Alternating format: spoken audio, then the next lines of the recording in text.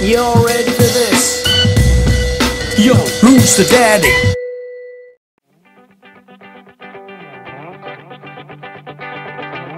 Easy guys, Dom here from Cringey Dad Gaming, so welcome to another Dauntless video and in this video we're going to be taking a look at our consumable slots and how you can actually equip consumable items.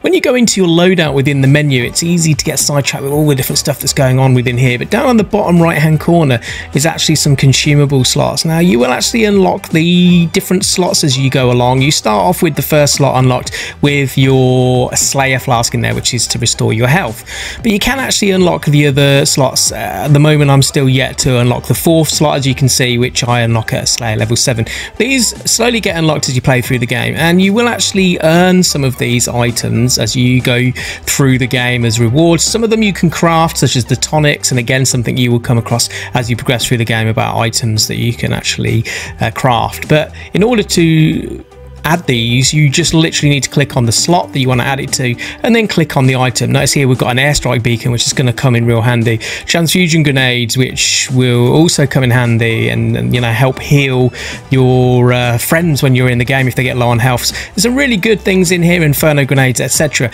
So hopefully this video has shown you how you can actually equip some of those consumables, uh, if, especially if you're new to the game. There's a lot to take in. If that is the case, don't forget to like, comment and subscribe and and I'll catch you guys either in a game of Dauntless at some point soon or on another video.